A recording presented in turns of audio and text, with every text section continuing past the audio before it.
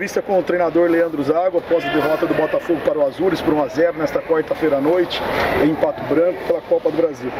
Professor, primeiramente peço que você faça uma análise desse jogo, da partida do Botafogo contra o Azures. Boa noite.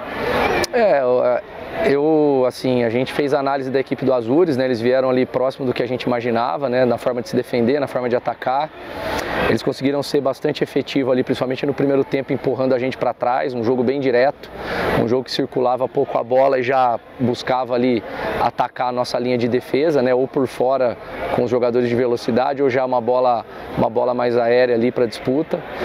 A gente conseguiu melhorar isso no segundo tempo, empurrar um pouco a nossa equipe, entrar um pouco no campo de ataque mas não foi suficiente para a gente fazer um jogo um pouco mais equilibrado. Eu acho que nossa nosso momento de ataque hoje a gente não conseguiu atacar como equipe. A gente teve lances esporádicos que não foram suficientes para ser agressivo é, em cima da, da, da equipe do Azures. Professor, o Azures mereceu a vitória? Olha, se o gol foi legal, como eu digo sempre, se o gol foi legal, sim. Então, assim, o gol deles foi legal, ok, mereceram a vitória. Acho que eles buscaram o gol uma boa parte do jogo. A gente ofensivamente não conseguiu ser agressivo e a gente foi muito forte nas bolas paradas o jogo todo. Infelizmente, na última, né, aos 48, a gente é, deixou com que eles conseguissem finalizar uma bola importante ali. A gente sabia da capacidade dos zagueiros, né, principalmente do atleta que fez o gol, que é um jogador de uma estatura é, muito elevada, um cara muito bom no jogo aéreo, defensivo e ofensivo. Foi bem marcado o jogo inteiro, mas infelizmente ali na última bola parada a gente, a gente acabou dando uma brecha e deixamos com que eles chegassem no nosso gol. Zago, o Botafogo parece sofrer na construção das jogadas e depende muito dos homens de velocidade pelas beiradas para fazer as transições de defesa para o ataque. O elenco carece de um jogador com essa característica de criação para o restante da temporada ou você tem esse atleta no elenco e é opção sua não utilizá-lo? Eu acredito que hoje aqui a nossa dificuldade em construir ela teve a ver com outras coisas, né? Um tipo de jogo diferente, um adversário, é... para quem estava aqui, né, dá para perceber um adversário de muita imposição física, um jogo diferente do que a gente enfrenta no Campeonato Paulista, um gramado que não dá para a gente acelerar tanto o jogo, né? É um gramado um pouco diferente, então assim favorece a característica do nosso adversário e eu acredito que a gente tem construído bastante jogado. Eu acho que não é um jogador, não penso que é um jogador que arma a equipe, acho que a equipe se arma coletivamente com os 11. A início das jogadas vai lá do goleiro até o, o jogador mais avançado. E a gente tem jogadores sim com essa característica. Alguns, alguns entram em campo, alguns jogam, alguns ainda vão ter um pouco mais de espaço, mas não é uma necessidade que eu vejo da equipe. A gente é uma equipe que quarta equipe que mais finaliza dentro do Campeonato Paulista. Acho que a gente constrói muito. O objetivo do jogo é gerar finalização. Isso a gente gera, com exceção do jogo de hoje, que sim, a gente foi um número baixíssimo de finalizações. Leandro, como você analisa essa instabilidade no, do Botafogo, que não consegue se apresentar com personalidade, principalmente contra adversário do mesmo nível, como aconteceu na noite de hoje com a eliminação do tricolor? Então, a gente tem que definir, né, se a gente a nossa instabilidade ela é dentro ou fora de casa ou de acordo com o nível do adversário, né? Porque a gente é sempre questionado sobre a questão, ah, é dentro ou fora? Hoje foi um jogo fora. Aí a questão é o nível. Eu acho que são cada jogo é um cenário. É, quarta passada nesse momento a gente acabar de vencer a Ponte no Moisés Lucarelli.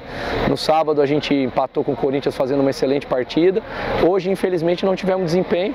É um problema, é claro que era um jogo fundamental para a gente, fundamental para o grupo, para o clube, para a instituição. A gente está muito chateado, os jogadores é, acabou o jogo ali, ficaram ali 15, 20 minutos sem conseguir trocar uma palavra antes de ter uma qualquer tipo de reação.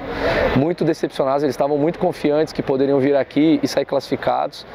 E da forma como foi ainda no final. Então, acho que é isso. A gente teve um desempenho muito abaixo hoje do que a gente está acostumado. A gente vai ter que entender o porquê. No pós-jogo, a gente tentou algumas mexidas, mexemos no trio de, no trio de frente é, para tentar mexer com o jogo, mas a gente não conseguiu o efeito que a gente desejava. Professor, é, boa noite. O goleiro do Azures não fez nenhuma defesa. O Botafogo não atacou durante o jogo todo.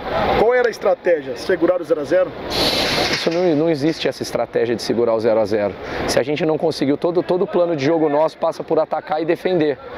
Hoje a gente não conseguiu atacar, a gente se defendia, mas não conseguia sair para os contra-ataques e para os ataques no, no, no campo do adversário. A gente perdia a bola muito rápido.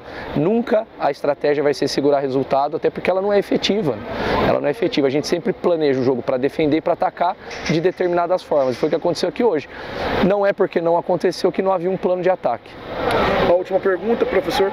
Você admite que o Botafogo pagou caro pela falta de ousadia no ataque, apostando cedo demais na administração do resultado? Então, eu não sei se a gente apostou cedo demais. Eu acho que a gente talvez tentou segurar algumas bolas ali a partir dos 37, 38 minutos do segundo tempo. É, mas foi uma, uma estratégia nossa ali para a gente tentar ganhar um pouco de tempo no campo de ataque, respirar um pouco, para tirar um pouco o time do, do Azures do nosso campo. Né?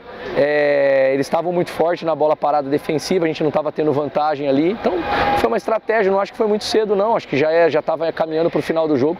A gente tentou vencer o jogo desde o início. É que às vezes, quando não funciona, parece que a gente não quer. Mas é um jogo, tem um adversário do lado que está disputando com a gente o espaço, a bola, e às vezes a gente não consegue ter eficiência contra esse adversário. De novo, a equipe do Azures, tecnicamente, sim, eu vejo que a gente é superior, mas fisicamente é uma equipe de muita imposição física. Para quem assim vê o jogo de perto, olhar com atenção, vai ver que eles têm ali os jogadores da, da linha de defesa, os volantes, em relação à imposição física, eles são muito fortes, muito superiores fisicamente até que os nossos jogadores, e o jogo se tornou um jogo de imposição física, então isso ficou um bom para a característica que, que favorece o jogo dele.